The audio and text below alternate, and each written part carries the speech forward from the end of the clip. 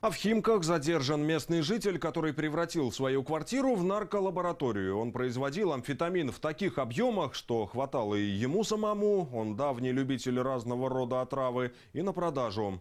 Весть о том, что в новостройке поселился замечательный сосед, разлетелась по округе, и к подпольному химику окрестные наркоманы чуть ли не в очередь становились. О том, как все закончилось. Максим Ларин.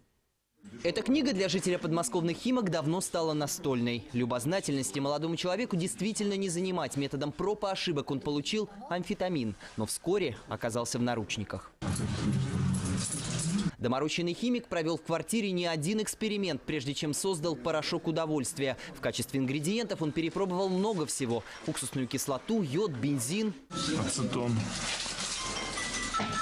Молодой человек увлекся настолько, что превратил свою квартиру в настоящую лабораторию. Оперативниками обнаружены и изъяты прекурсоры, стеклянные пробирки, колбы, одноразовые шприцы, электронные весы, используемые для приготовления наркотика, и несколько емкостей из полимерного материала с амфетамином. Химических дел мастер признается, он доводил наркотик до совершенства и каждую новую партию опробовал на себе. Вот в таком количестве амфетамина постоянно я последний год, как я его То есть употребляете? произвожу, В какой-то момент парень смекнул, его нарколаборатория может приносить не только удовольствие, но и выгоду. За один грамм амфетамина молодой человек просил до полутора тысяч рублей. Весть о его химических способностях моментально разлетелась по округе, и местные наркоманы то и дело обращались к нему за дозой. Вырученных денег хватало не только на новые реактивы, но и на безбедную жизнь. Теперь 35-летний житель Подмосковья может оказаться на свободе лишь ближе к пенсии. Ему грозит до 20 лет тюрьмы за производство и сбыт наркотиков.